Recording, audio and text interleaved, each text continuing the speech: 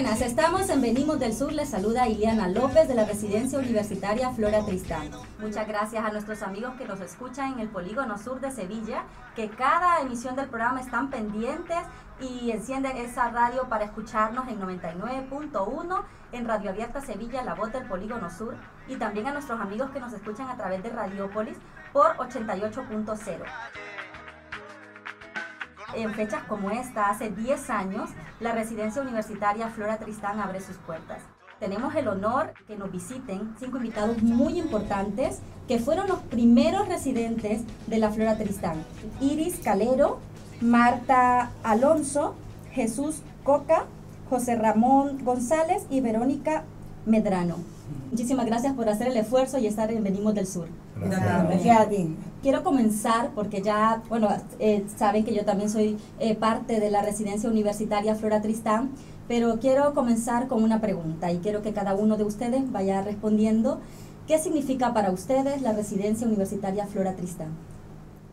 Yo lo he definido en alguna ocasión ya como un, momento, un sueño, una locura, y, y lo fue, pero también fue un momento muy caótico, porque quien conoce, quien conoció a Rosario Valpuesta, eh, entre sus características, Rosario Valpuesta es impulsiva. Y apareció un día por la planta como un torbellino y nos llamó unos cuantos, más o menos de, de confianza, a Ana Gómez, a mí. Pues tengo una idea, me acaban de ofrecer un edificio en, en el Polígono Sur y estoy pensando que eso mm, tiene que servir para una residencia de estudiantes. Pero el Polígono Sur, ¿dónde? El Polígono Sur es muy grande. ¿El Polígono Sur dónde? Y, bueno, pues, pues enfrente de Las Vegas.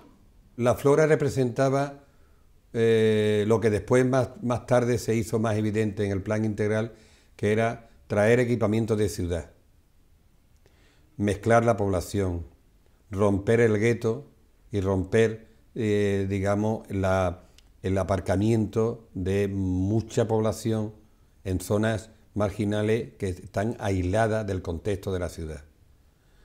Flora ponía un equipamiento en el punto álgido que era Martínez Montañé y además la zona más deprimida. Rosario Valpuesta presentó el proyecto al Consejo de, Gobierno.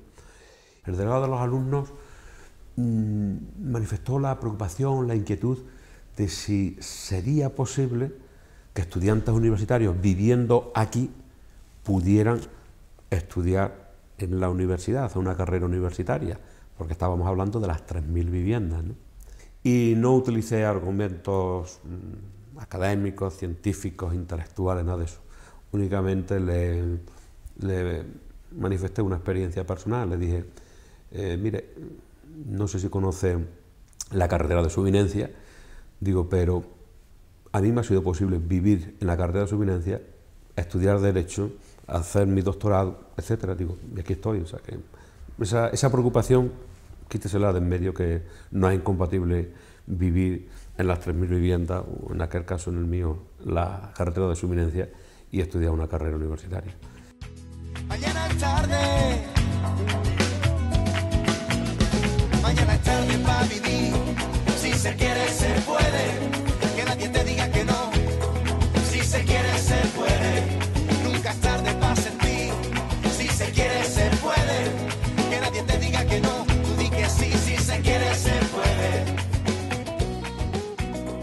Me acuerdo que me- vine solo, cogí el tren para acá, para Sevilla, desde Jerez, y no sabía qué autobús tenía que coger, vamos, no tenía ni idea de qué línea ni nada. Y bueno, llego aquí a la, enfrente del Mercadona, a la carretera Suminencia, y vamos, me metí por, por la parte esta de Martínez Montañés, y ahora yo estaba completamente asustado y digo, ¿dónde, dónde coño me he metido? Porque es que no tengo ni idea de dónde estaba. Y preguntándole a todo el mundo y nadie sabía dónde estaba la residencia. Pero bueno, al final di con alguien que me dice, mira, es allí. Y dice, ¿tú que vienes a estudiar, no? Y digo, sí. Y dice, mira, pues allí donde está el piso de estudiantes. Y digo, vale, gracias. Y al final llegué. Se llama Flora Tristán, también fue una propuesta de Rosario Valpuesta.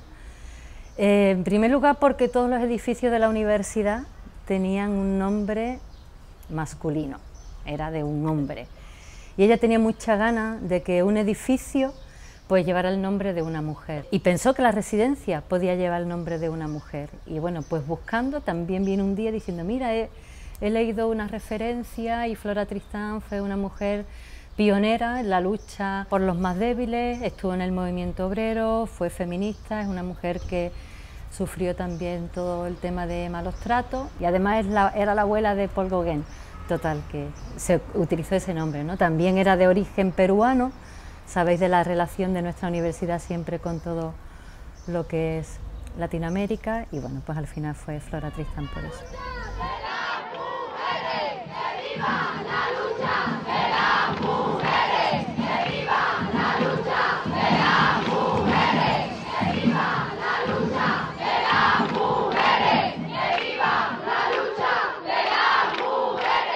Grupo de estudiantes nos interesamos por el proyecto y nos incluimos en ese primer grupo de trabajo que, Ana estaba montando para construir este, este proyecto. Nos mandó al Colegio Mayor de la Coma, que el verano de 2003, para que le, después relatáramos aquí en concreto cómo funcionaba. Esa experiencia en la Coma fue formidable. Cuando ya empezamos con la residencia Flora Tristán, yo ya venía enamorado de la idea después de haber conocido ese proyecto allí en Valencia había que trabajar mucho con las personas, a pesar de que se habían conseguido cosas, no se acababa de ver que el problema que teníamos en el barrio era un problema de pobreza y de marginación, y que ese problema no se solucionaba con arreglar una calle, con poner semáforo, sino que la cuestión era más social que de otro tipo.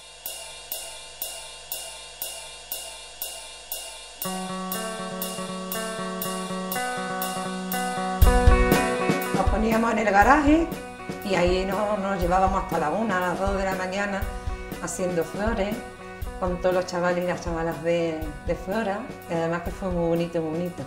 Y a raíz de eso ya empezaron la gente más a conocer Flora Tristán, que antes no la conocía. Ahora me dicen a mí, dice, hay que ver lo que los chavales, no, que no es mentira lo que estoy diciendo, ¿eh? Que los chavales de la flora que ayudan mucho tanto en colegios como en los institutos, como en las asociaciones, están ayudando mucho, que se están implicando mucho.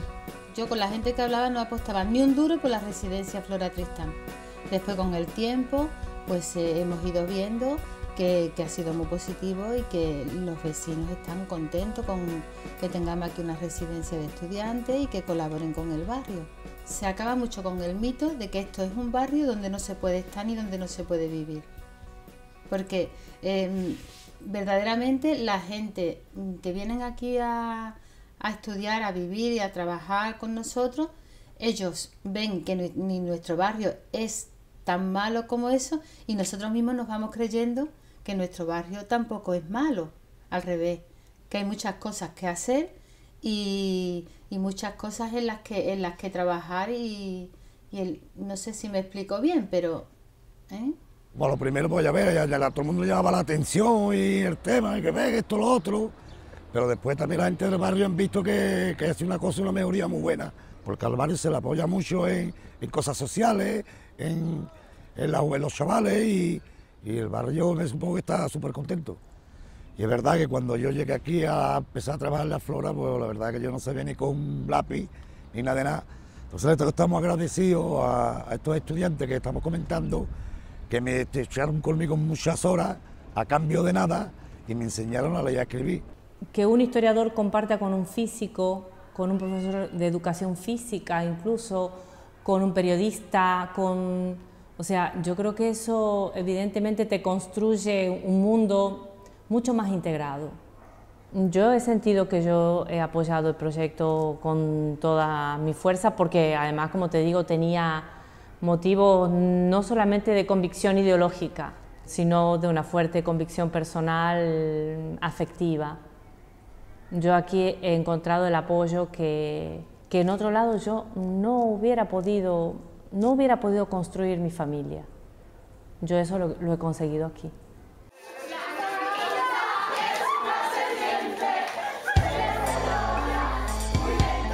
Proyecto colectivo, plural y diverso. Hombres y mujeres de todas las carreras, de distintas edades y de casi treinta y tantas nacionalidades que nos hemos juntado.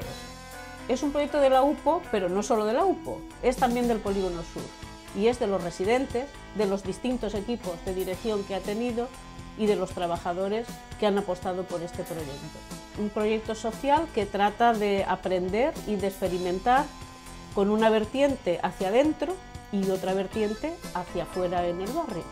En la vertiente externa es donde entra el tema del programa de becas de colaboración que tenemos en la residencia. Actualmente contamos con 40 personas becadas que no pagan alojamiento, solamente pagan los consumos de agua y de luz y a cambio pues trabajan de 6 a 8 horas semanales en las entidades que hay en el barrio. Trabajan en colegios, en institutos, en asociaciones y con colectivos de menores, de adultos, jóvenes.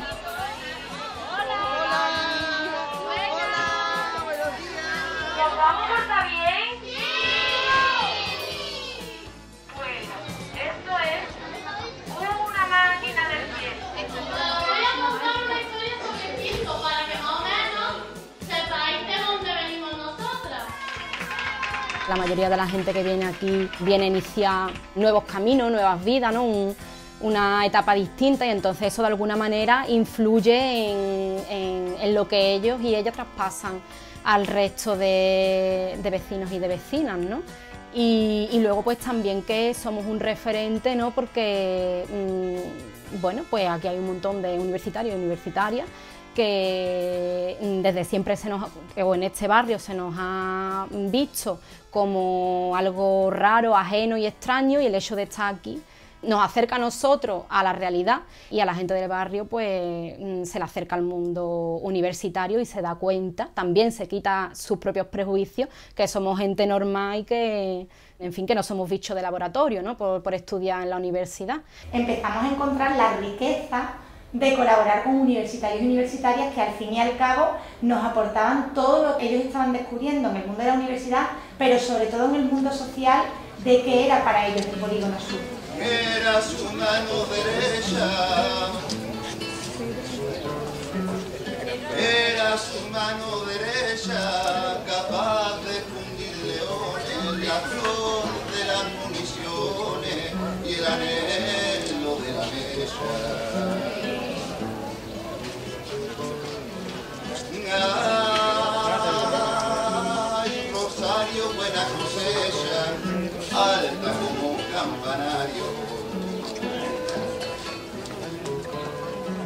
Llamaron para participar con, con las mujeres y la verdad es que la experiencia fue un antes y un después, ¿no?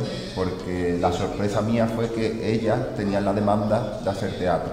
Y entonces, bueno, pues ya mi beca la propuse yo a la Flora como poder eh, llevar un grupo de teatro en el centro de adultos. ¿Ustedes han visto alguna vez los jugadores de rugby australianos que hacen un baile antes de empezar a jugar? Y es al rival.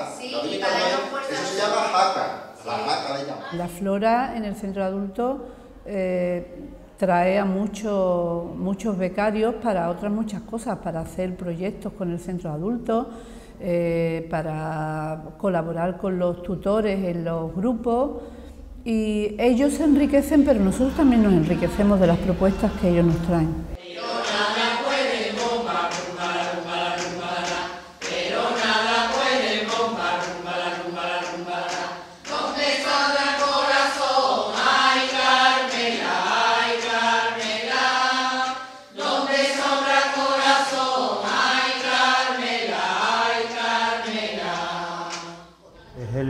De, en mi caso, casi de mi vida en Sevilla, de, las cosas que intento mantener, de las relaciones que, que todavía perduran, de proyectos e ilusiones que han surgido a raíz de otros proyectos y otras ilusiones que arrancaron primero y muchas de ellas enraizadas en la flora tristán.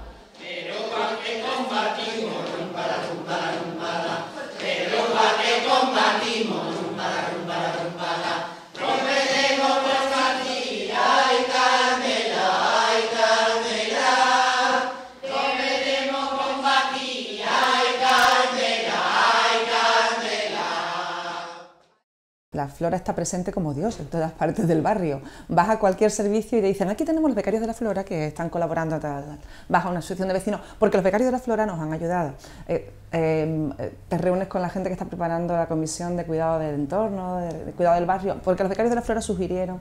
Entonces te das cuenta hasta qué punto realmente se ha hecho un buen trabajo y los becarios y becarias de la Flora están muy presentes en el día a día de este barrio y son vividos por el barrio como un recurso útil, sin la menor duda. ¿no? La Flora Tristán está muy identificada en el barrio y con el barrio. O sea, el barrio la reconoce como propia y la Flora también se reconoce como del barrio. Mira, la asociación empezó a funcionar hace unos pocos bastante años. Empezamos ahí un grupo de mujeres, como estaban los ordenadores, empezaron y venían también hombres, cuando quitaron los ordenadores, se llevaron los ordenadores, los hombres dejaron de venir. Ah, no, las penas esas las dejamos en el paragüero de casa. Eso es el lema, que las penas se quedan en el paragüero de casa. Y tú cierras la puerta y te viene ahí a reírte. Cuando llegas, si tienes ganas, la coges y si no le dices, mira, como no está lloviendo, lo dejo ahí. Ya lo coger otro día. Y queremos que esto siga, queremos cada día que vengan más mujeres, queremos que el barrio se implique algo, a ver si podemos darle un cambio que lo que no salga para afuera no sea lo que sale siempre, que salga también hay mucho bueno. Eso es lo que aquí se estamos intentando entre todos. Y queremos que también la gente de la flora, el comisionado, que nos ayude y, y poder seguir para adelante con esto, que por lo menos es un rato de respiro para muchas personas que no tienen la oportunidad de poder salir del barrio a buscar otras cosas y ahí pues mira.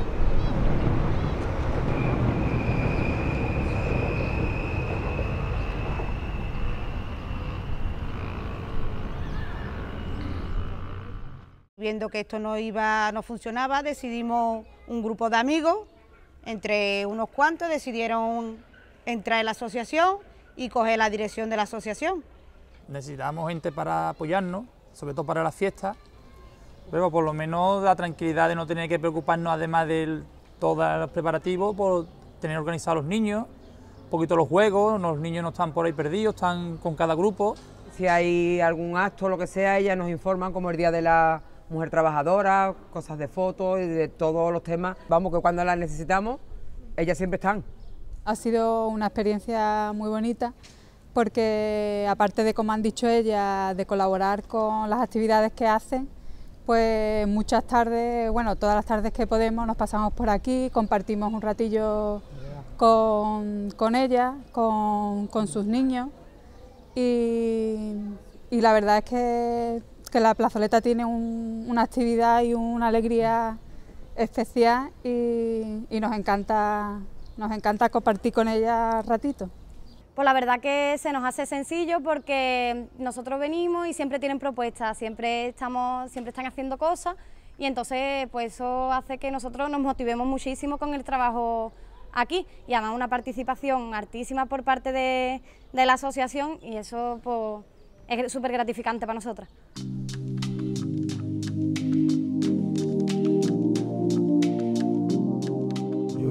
Nos reunimos un grupo de personas en la que coincidió una monitora aún y ahí nos fue comentando toda la experiencia y yo dije, pues yo también la quiero hacer. A raíz del grupo BUM conocí la Flora Tristán y aquí estoy.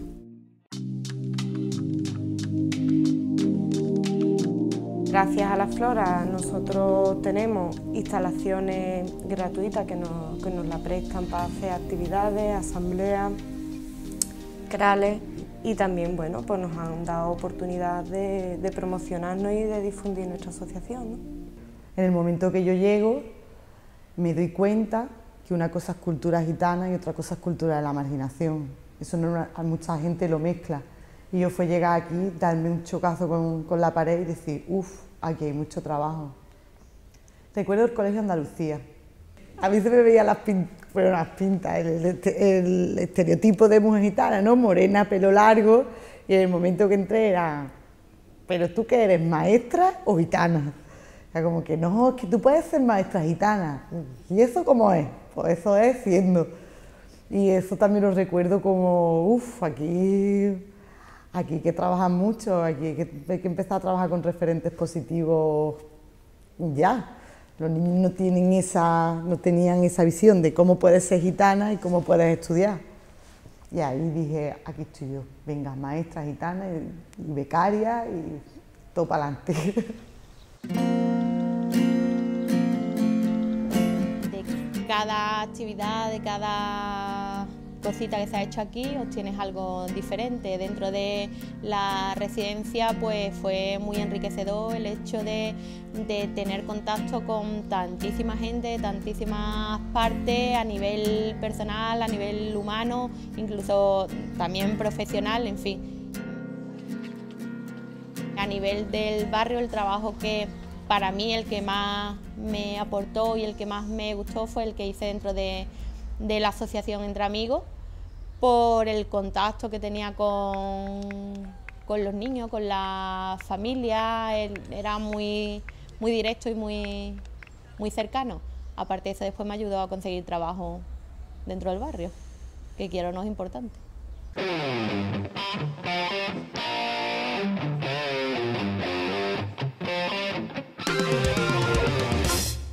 Dentro de nuestra propia beca necesitamos algo que nos ilusione, que nos haga estar todos los días trabajando y no importe las horas que tengamos de beca. Y la moneda te permite ilusionarte por algo porque le ves sus frutos. Le ves futuro, sí. Le ves futuro, Eh, le ves repercusión tanto en los comercios del barrio como, las personas mayores que no tienen necesidad de que no están como cubiertas y entre, la- demás. entre las personas, entre la propia residencia se- que se vaya moviendo con los residentes. Te permite conocer mucha gente del barrio y realmente es lo importante y para lo que estamos aquí. El primer año estuve en, una biblioteca ayudando, simplemente poniendo a, informatizando el sistema de libros y tal. Y al segundo año nos proponéis hacer un grupo para dinamizar todas las bibliotecas de los colegios públicos del Polígono Sur. Y así es como empieza toda la historia. Ahí nos llevamos tres o cuatro años, nos costó mucho, pero de ahí salieron cosas muy buenas. Y ya el último año estuve alfabetizando a mujeres mayores ahí en el Colegio Alto Laguirre que también aprendí un montón. Es que esto es una experiencia que es muy típico, un topicazo, pero te cambia la vida, te cambia la vida un montón. Aprendes y ya no solo de lo que haces aquí con respecto al barrio, sino de la gente del barrio, porque esto es supervivencia, día a día. Y para mí eso es más que los estudios. Te enseña mucho. Son tantísimas cosas que yo lo que podría decir que mm, a mí el polígono sur me ha alimentado tanto que es mi cordón umbilical, sigue siéndolo, o sea, yo no he roto con él, sigo estando informada todo el movimiento que pueda hacer comisionado, todo lo que pueda hacer la Flora Tristán, sigo pendiente por prensa, por radio, por siempre sigo pendiente de este barrio, porque no me he desvinculado, me ha dado tanto, me ha alimentado tantísimo la gente del barrio, los compañeros de la residencia, hemos tenido vivencias tan mm, preciosas que animo a cualquier persona a que viva la experiencia que nosotros pudimos vivir hace 10 años. Igual, eh, yo también les animo, que ha sido maravilloso. Creo que, que ha sido una andadura interesante porque nos hemos ido reilusionando. Diez años son muchos años, hemos pasado momentos durísimos, en el barrio ha habido momentos duros, hemos pasado momentos dulces, eh, hemos pasado momentos de ilusionarnos mucho, momentos de decir estoy cansado y me marcho. Pero el balance de los diez años mm, yo creo que es un balance muy interesante. Yo creo que, que el barrio, a pesar de que tiene una situación difícil, muy difícil, eh, no es igual. Yo entiendo que bajo mi perspectiva es más luminoso, vamos a decirlo así. Hay más gente que se pasea por el barrio distinta, el hecho de que desde la residencia estén todos los residentes, los becarios y las becarias, profesores, experiencias que se traen de otros sitios, se han hecho aquí encuentros, jornadas, que el barrio estaba muy incomunicado. No se venía prácticamente a celebrar aquí casi nada, salvo cosas de índole interna que las asociaciones colectivas de aquí siempre han hecho, ¿no? pero cosas que implicasen que viniese gente de fuera, que se utilizase un espacio como la residencia para, para hacer esos encuentros, yo creo que ha supuesto una apertura y este barrio es una de las claves que necesita, que se conozca, que el resto de la ciudad pierda miedos, que el propio barrio tenga capacidad para mostrar la dignidad y el trabajo que hay aquí y eso me parece que ha sido una experiencia súper interesante. Para los estudiantes, para mi visión además de lo que es la educación superior y, y, mm, cómo debemos construir y enfocar esta educación, la flora es todo. La flora es vivir y es convivir. La flora es ganar una serie de habilidades trabajando en grupo, un conocimiento de la realidad que no tienes de otra manera si te encierras en un despacho a estudiar. Son competencias además que son capacitaciones profesionales las que tú puedes adquirir colaborando y viviendo en la flora y de eso estoy convencida y creo que, esto se ve por parte de, todos los que trabajamos en el vicerrectorado y de toda la universidad porque efectivamente los alumnos y las alumnas que están en, la flora se le ve una serie de destrezas que lo enfocan mucho a un futuro profesional acertado y, bien, a una empleabilidad, digamos que más que profesionalizante es empleabilidad, porque construye ciudadanía. Si en el espíritu inicial de la, de la universidad había una idea de compromiso social, de trabajo con la sociedad, la Flora Tristán es quizá, yo le llamo la joya de la corona de ese compromiso y de ese trabajo con, con la sociedad. En demasiadas veces hemos venido a hacer asistencia social, caridad, que nos reporta muchos beneficios personales y lo que hay que venir es a reivindicar derechos de ciudadanía, que hombres y mujeres tenemos derechos y obligaciones, vivamos donde vivamos, seamos de la condición social de la que seamos y así probablemente consigamos una ciudadanía más activa y una sociedad un poquito más justa y más igualitaria.